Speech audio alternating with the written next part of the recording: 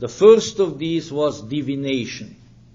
Well, we know a good deal about divination because especially tarot divination, but also others have been somewhat revived since the 1960s. But what is divination? You might say it's fortune telling, trying to figure out by way of some cards or throwing some coins or something of that sort as to what is going to happen. Well, that is not divination. Divination, which was, of course, very important part of life in the ancient world among the Greeks and the Romans and so forth, literally meant consulting the divinities for advice. Now, I don't know whether you believe in divinities or whether that makes much sense after most of us come from a monotheistic background.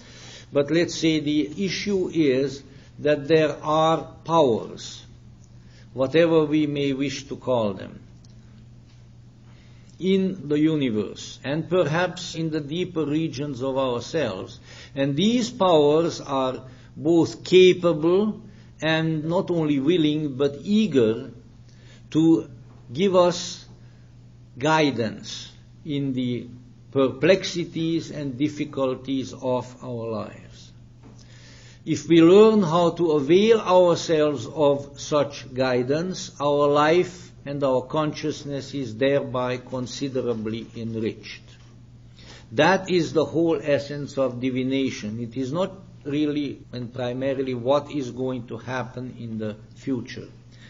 And so one begins to look for the signs of guidance. And these signs have often been organized into particular modalities like the ancient Romans, for instance, who learned a lot from both from the Etruscans and from the Greeks and otherwise, were full of divinatory methods.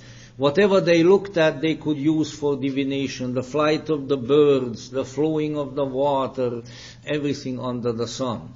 But let's say in the Golden Dawn they used to a great extent the tarot cards, which were almost unknown at the time the Golden Dawn were the people who, the first people who really brought into use among Western peoples the Chinese oracle, the I Ching or Yi King, the Book of Changes, geomancy, which is a much simpler form of divination, and of course also astrology.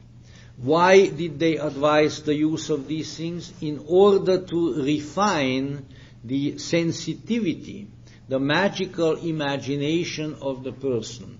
Someone who becomes affinitized toward the creative use of a divinatory modality will have developed a sensitivity toward the imaginal world. And the imaginal world is not imaginary in the sense of non-existent, but rather it consists of images the images of various realities which are in that great intermediate area between ourselves and ultimate reality. Another preliminary exercise that the Golden Dawn